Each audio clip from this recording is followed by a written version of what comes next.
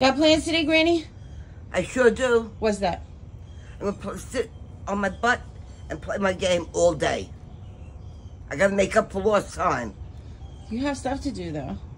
Huh? You have stuff to do. Like what? Like clean out your closet and find you summer clothes for the cruise. I already did that. Oh, you did? Yep. Good, now I'm going to go show everybody your closet if you cleaned it. What?